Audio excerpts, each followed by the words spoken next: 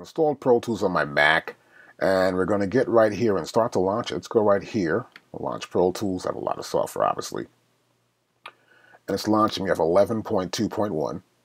It's going to load up all the plugins, everything else, check the engine. And the first thing we see here is our quick start menu guide. This dialog box comes up.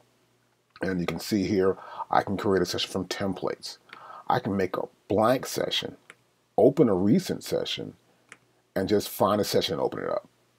So this first one here, to create a session from a template. There are templates built into the software. You can click here.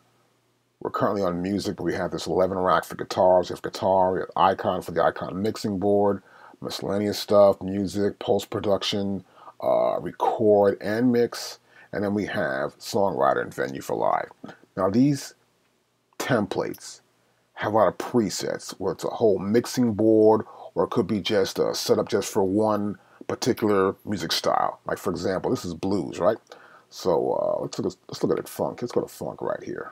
Scroll back up, and you'll see here we have the session parameters that we can change.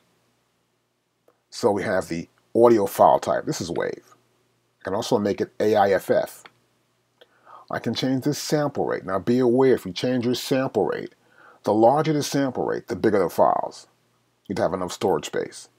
And also, when you do save your project, you've got to save it to a separate external hard drive. Runs better that way. We can change our bit depth. And we have interleave too as well. So let's open one of these things up and get an idea of what's going on here. So, okay, Pro Tools asks me, where do you want to store this at? I want to store it right here, right? So already have a location for it to be stored.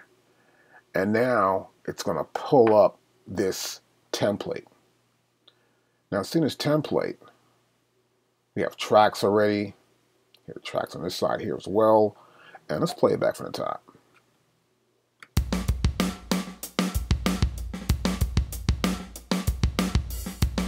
Already have drums. I'm going to flip over to the mixing board.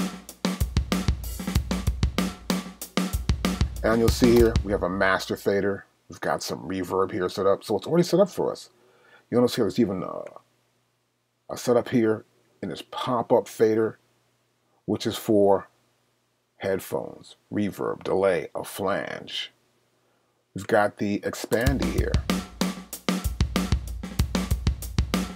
Kick drums, snares, hi-hats, natural percussion, some effects. Right there stop that. And you'll notice here, right next to the master, we have effects. There's a D verb right there. Next to that, we have a delay return and a flange return. So there are effects also built into these templates.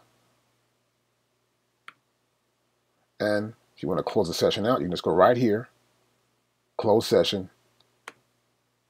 Don't want to save it? Eh, sure, save it. And that's how we can open up a template.